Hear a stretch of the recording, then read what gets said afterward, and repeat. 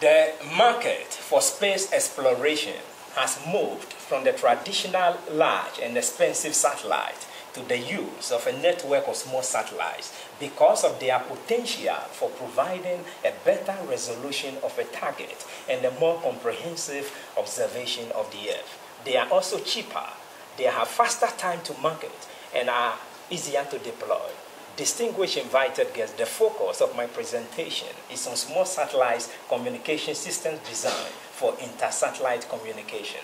Due to the tiny size of small satellites, there is a limit or bound on the amount of electronics we can carry on board the satellite. In other words, we are constrained by the size, weight, and power of the electronics we can carry on board the satellite. In this work, we propose an LED-based visible light communication system for inter-satellite communication. Our motivation for using LEDs or light emitting diodes is due to their small size, lightweight, low power requirement in a long lifespan, low cost, as well as the simplicity of the design. Unfortunately, by using LEDs, we create another problem, which is this. Both an LED and the sun emit visible light. So how can the receiver of our system distinguish between the light coming from the LED, which is carrying our data of interest, and sunlight?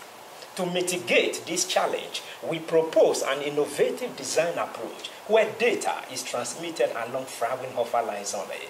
Fraunhofer lines are a set of frequencies along which the intensity of the sun is negligible or less than 10% of their normal value.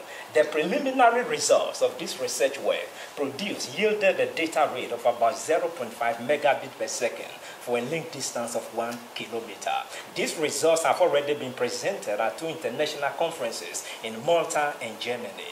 This work is highly significant by virtue of the use of VLC.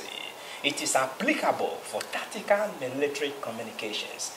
It can also be used in sensitive environments like in hospital operating theaters where radio frequency interference can affect sensitive electronics. It is applicable also in hazardous environments like nuclear power plants where the ignition of radio frequency sparks can you know, cause a problem. Thank you.